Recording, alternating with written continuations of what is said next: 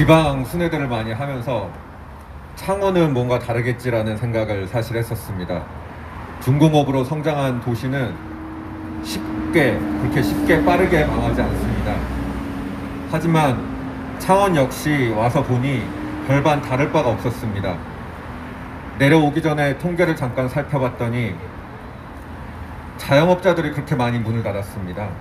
오면서도 실제 시내 통 건물 자체를 임대한다라는 임대 현수막이 붙어 있었고 그 말이 무슨 말이겠습니까? 지금 자영업자들이 완전히 창원 시내에서도 무너졌다는 의미입니다.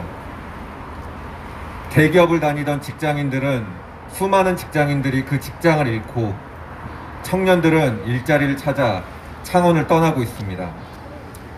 이 모든 일들이 저희 뒤에서 스크린차에서 방송을 하고 있는 민주노총 때문 아니겠습니까?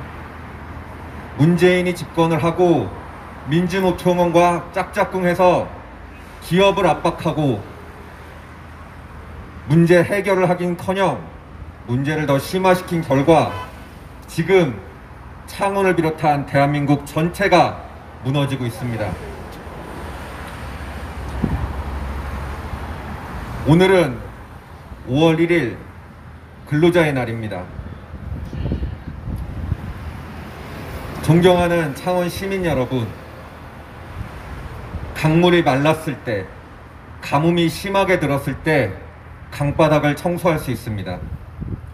중국 폐렴에 신음하고 경제가 무너지고 사회 체제가 흔들리고 있는 이때, 이때가 바로 민주노총을 청소하고 정교조와 같은 학생들에게 꿈을 가르치는 대신 이념 교육과 나라를 부정하고 모욕 주는 교육을 하는 집단들을 몰아낼 수 있는 절호의 기회입니다.